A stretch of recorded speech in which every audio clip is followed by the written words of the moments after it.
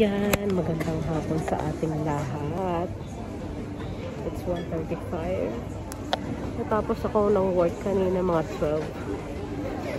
Pero nandito kasi ako sa shop. Ngayon kasi nag-announce sa amin ngayon na magla-lockdown starting 5pm ngayong araw to. So, ayan, nandito tayo sa shop. Ang haba ng pila. Um, although meron naman na kami lahat, pero check pa rin mamaya. Kasi baka mamaya wala pa. Wala. Basta mamaya. Ayan. So, nandito tayo ngayon sa shop. Uh, hindi naman panic buying, pero ano, kasi good for 5 days ang lockdown dito. So, sabi nila 5 days lang. Pero tignan natin kung diba, maabot ng 5 days o kung ano pa man. So, kanina pa tayo nandito sa pila as in super, super, super pila. Uh, hindi pwede ipakita ng mga tao kasi baka hindi pwede. Katakot. Although nasa, nasa, ano, nag-grocery na ako ng isang araw. Mga dapat lang na grocery nito. Dami kong kinuhain. okay lang eh. Dati alam ko na saan natin ilalagay to. So, lockdown na naman kami. Lockdown, lockdown.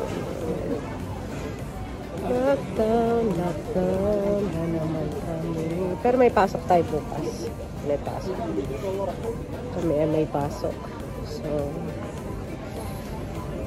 may pasok bukas. May pasok bukas.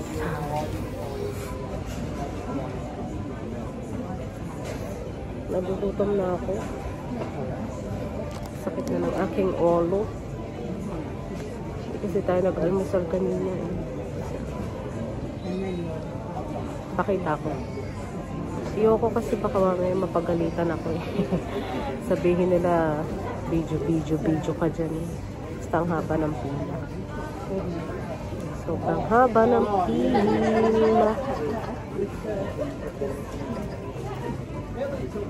Tapos wala nang ano, wala nang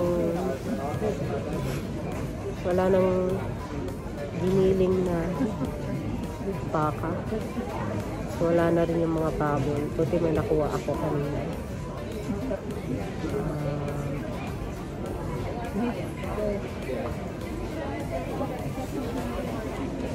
hindi naman siguro magsasarado yung ano, yung grocery. Sila magsasarado. Sasarado ba? Baka magsasarado. Walang bala na si Batman. Pero siguro hindi naman magsasarado tong shop na to. Kasi may pasok. Naman tayo bukas pwede ulit kumaan. Kasi yung mga essential, essential workers pwede pa rin pumasok. Katulad namin. So, pero yung iba, yung office, yung ano na, wala. Hindi talaga pwede. Kasi merong five uh, new cases na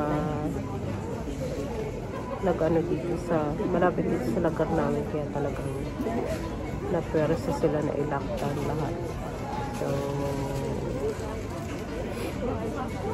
talagang panic buying buti na lang nakabila na ako ng tissue dahil mawawala na naman sigurado ng tissue meron, meron na kami tissue meron pa rin naman ano ito lang naman pang everyday na pagkain Waltery, yung ham niya, yung ano, chenende, lahat-lahat, o diba? Sige, later ulit, no? Kung ano. Pag makakalabas na tayo dito. Okay, bye-bye! Hmm. Hello, I'm back. So, alas dos na. Dito pa rin ako, nakapila. Nakapila pa rin ang haba ng pila. Gutom na gutom na ako. Right. Ganun talaga.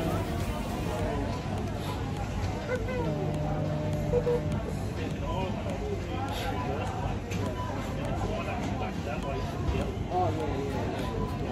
pala akong kape. Oh my goodness. But siya tayo, na. Hindi naman ako makaalis dito kasi hindi nagbabantay. Kape-kape-kape. Saan may deliver na lang.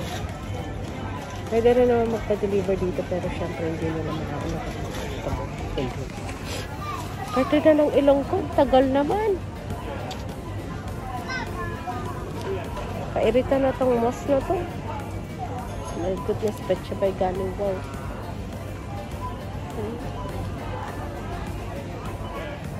Ay, naku. Tagal.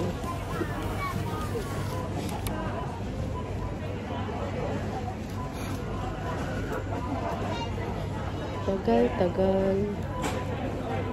Ang tagal, tagal.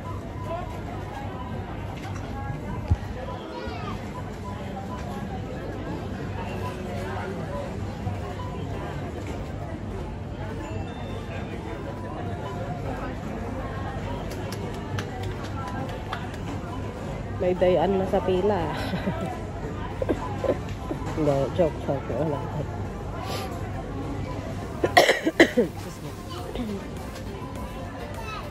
Baka mamaya pagbalik ko dito ng sa isang araw, wala nang laman itong mga shops na to. 5 days pa naman magla-lockdown. 5 days ba? Hindi ko alam. Baka mali na naman ako din eh. Siguro bibira ulit. Ano? Mamaya ulit. Kapag nandun na tayo sa ating lugani. Kasi ang haba ng pila. Hindi ko maipakita eh. Sobrang haba ng pila.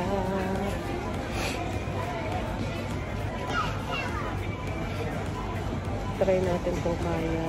Pero wag na. Kasi baka mamaya mapagripan. Okay. Bye-bye. Later. Ayan. And we're back.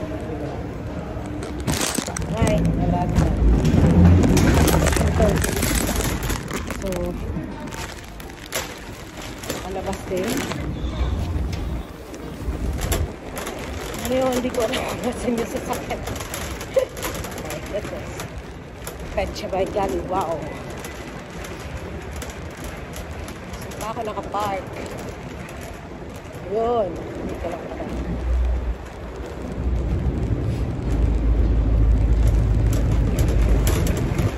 Kape muna tayo. Kape muna tayo bago tayo mag-discarga. Sana kasha. Kasha ba? Mm. Yes. Dasha. You know. You know.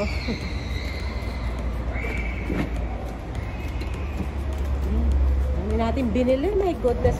Sabay galing. Wow. Saan natin ito ipapatong?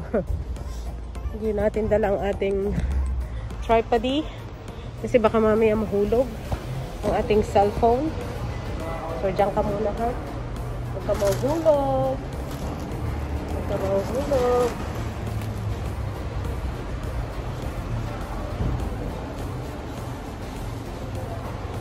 First time ko lang atang mamili na toto karami. Oh my God.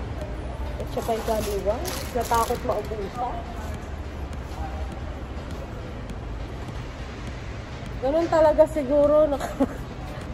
kapag hindi nagluluto. Puro instant. No, hindi. Joke lang.